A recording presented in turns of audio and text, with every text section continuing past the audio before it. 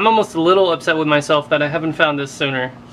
So typically, in order to power one of these, you need to get 12 volts out of something in order to, you know, give it the juice. And a common thing to do that is with something like this. A power supply takes 120 volts AC and converts it into 12 volts.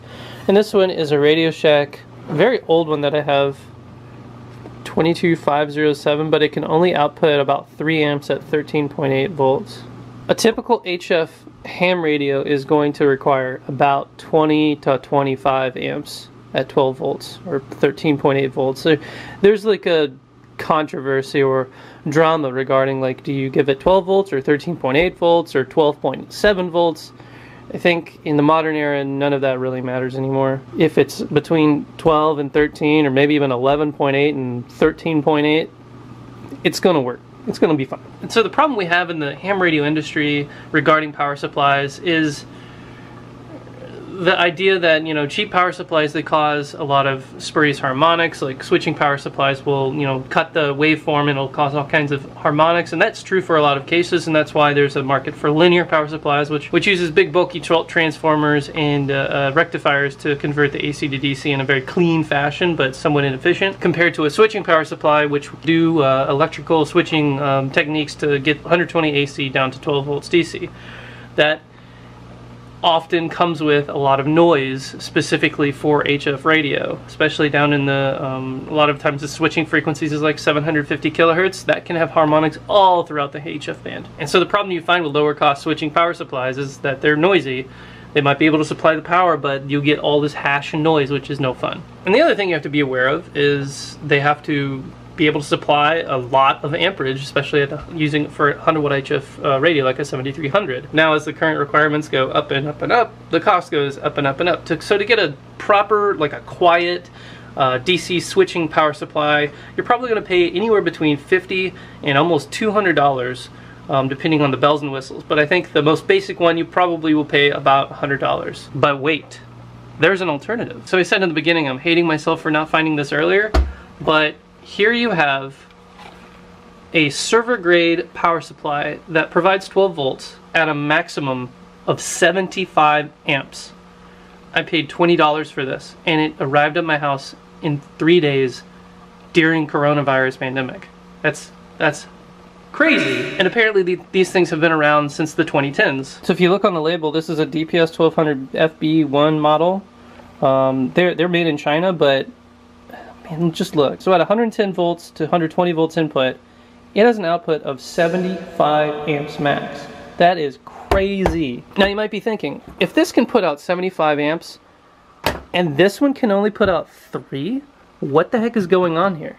Well, here's what's going on. This is a Radio Shack power supply designed for CB radios and has a very, very, very, very small market. Now, this is a server grade power supply designed to power servers, computers that have to be on and reliable, and they have they're prone to noise and um, jitter and other other functions of, of electromagnetism and they have to be clean. What's in here is an incredibly well-designed circuit and it is supplied more than enough power to run an HF station like this. But here's a slight issue. You notice I've already done my modifications here, but the output of this uh, power supply isn't a standard, you know, like binding post like this. It's these. Uh, it's a PCB trace which contacts these massive PCB traces. Now, when you buy this and you plug it in, it's not going to output 12 volts a lot like uh, uh, other PC power supplies, you have to fake it to make make it think that it should be providing that 12 volts. And so you, what you have to end up doing is soldering a small resistor. I've used a 470 ohm resistor in my case, uh, but you can use anything between 3,000 or 300 and a kilo ohm. Although the kilo ohm actually didn't work, but the 470 did just fine. Between these uh, solder pads, number 33, 34, 35, and 36. I'll link to a, a, guide to actually do that. And then to actually get power leads onto these PCB traces, what I ended up doing is drilling a few holes for some machine screws, putting those through and just tightening that, them down with, with some hardware. And, and Bob's your uncle. So what I'm going to do in this video is compare and contrast the uh, noise and specifically its capability to actually run like a 100 watt full duty cycle on my 7300. Hopefully nothing blows up. Uh, I have a dummy load. It's a saltwater dummy load that I've actually measured on a VNA to be very, very well uh, tuned, connected to the 7300. And this sort of serves like kind of a noise, as a noise pickup. As you notice, if I get, put this like basically right on top of the power supply, the broadband noise really starts to show up, but if I move it away, it generally goes away. There are these like, I've noticed this comb of frequencies, uh, and that's there regardless of my really annoying fluorescent lights, if they're on or if they're off. I'll run through the, the various bands to see what the noise floor looks like. So if that is that Radio Shack power supply, then here is what a battery looks like. All of those combs are all gone. And that's because I'm plugged in to an actual battery over here. I do still notice quite a bit of RFI, but that's probably because of my house. So if that was the battery, here is the new HP server grade power supply. Now there is this unusual looking like wideband hash here on this particular frequency that seems to be kind of falling downwards, but that wasn't nearly as annoying as the uh, as the comb. Here I've placed the dummy load directly on top of the HP server grade power supply and you do see quite a bit of that kind of looks like it's going back and forth like scanning almost. But if I move this away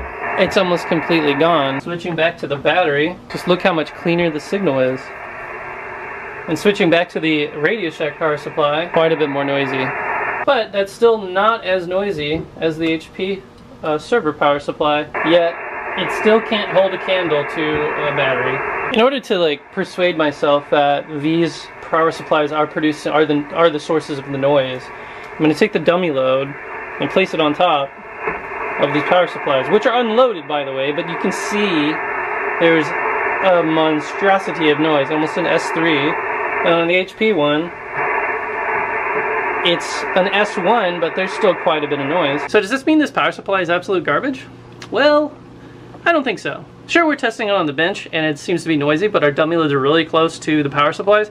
It's also really close to these blinking fluorescent lights and who knows what else in my house. Chargers and, and um, refrigerators and HVAC and dehumidifiers and right now the dishwasher's going on so who knows what's if that's producing any uh, RFI. So let's actually go out in the backyard, throw an antenna in the tree, and compare the battery and these two power supplies to see if there's any difference in the uh, noise floor. So to explain the setup, and pardon my backyard, it's currently a construction site. What I've got going on is the 7300s out here, the battery, the HP power supply, and the and the uh, whatever that one is, the Radio Shack. End-fed half-wave antenna, and that's just going up into the tree to some length, and then I have a counterpoise of random whatever length going off on that way. I'm connecting to the power from the back of my home with an extension cord. I'm gonna have to individually connect each of the power supplies, but you know, for science. I literally just noticed that my Packtenna came loose. Time to break out the butane, dude. There we go. That should work now. Okay, here we are with all that setup, and I'm currently plugged into the battery just to get an idea of what's what's going on in the spectrum. And I already have a very, very high noise floor. This is why I don't operate uh, HF from home mainly, because there's just like loads and loads and loads of QRM, but actually there's quite a bit of CW I'm seeing. There we go. So it's not all bad. Go ahead and try the Radio Shack power supply. Here's a Radio Shack power supply, and you'll notice not much different. I don't even see the combs from before. So was really all that stuff down in the basement all hype? Go up a little higher into the band and see, is that noise from the power supply? There's a single sideband station. Just another station. So it's not, it doesn't look all that bad. Let's go up higher into like 10 megahertz, or uh, uh, 10 meters. That looks like noise, but is that from the power supply? Let's go back to the battery and find out. Hmm, no, it's just coming from the environment. Go back to the Radio Shack power supply. Let's take a wide view of the spectrum. It looks like these frequency combs are happening uh, every uh, two, uh, 20, 250 kilohertz or so because they perfectly space this 500 kilohertz spectrum or this whole 1 megahertz spectrum so I see 1, 250, 500, 750, 1 megahertz. So I don't think that's one of these power supplies, but it could be a power supply somewhere else in the neighborhood, but it's not one of mine. Now if I go back to the battery, are those still there? Yeah, it looks like they're still there. So it's not me.